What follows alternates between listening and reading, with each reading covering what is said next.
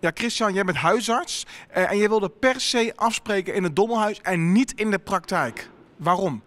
Ja, dat klinkt misschien gek, maar ik hoop eigenlijk dat mensen eerder hier naartoe gaan dan naar de huisartsenpraktijk. En jij hebt iets waardoor mensen minder snel ziek hopelijk worden.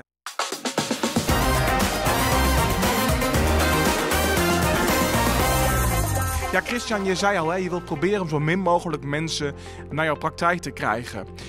Eh, hoe zorg je daarvoor? Of hoe ga je dat proberen? Nou, wat we proberen hier in het dorp met de stap naar gezonder. Zo, zo heet het, mooie naam. Ja, dat klopt. Eh, dat is een beweging waarin we samen met bewoners kijken om eh, vooral te kijken naar gezondheid. Naar gedrag en gezondheid en minder naar ziekte en zorg. Wat heb jij hier als huisarts dan mee te maken? Wat doe je hier dan mee? Nou, wat we samen met uh, de inwoners, maar ook samen met het CMD, wat hier uh, achter ons ligt, uh, doen, is proberen met positieve gezondheid. en initiatieven, bijvoorbeeld, dat kan heel simpel zijn om samen te gaan wandelen. kijken hoe je dat, het gezonde leefstijl kan bevorderen in het dorp. Kun je eens wat voorbeelden geven wat mensen kunnen doen om gezonder te leven?